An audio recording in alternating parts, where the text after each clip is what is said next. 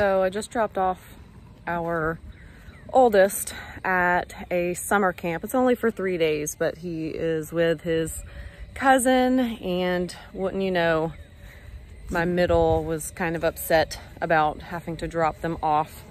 So, guess it looks like we're gonna have three days of summer camp at home so far. This is all we're doing.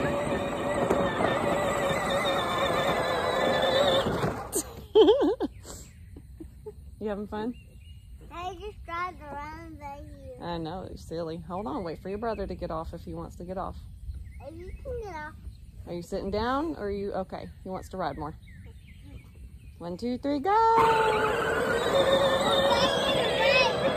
So anyway, my plans are to make this as fun as possible for three days while our oldest is at actual summer camp. So here that goes.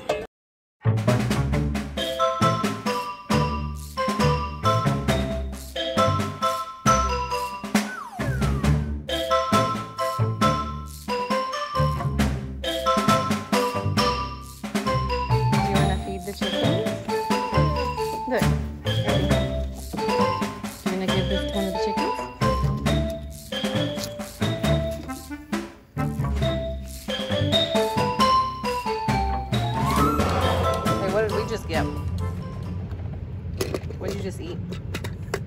Ice cream? Did you get a toy? What's your toy? A cart. Can I see it? Awesome.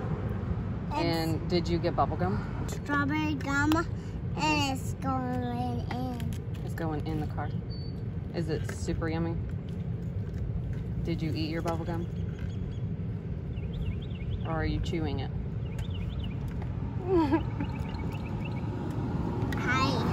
I drank it. You ate it? I drank it. You drank it. I drank it. You're silly. The water's here. This thing is hilarious.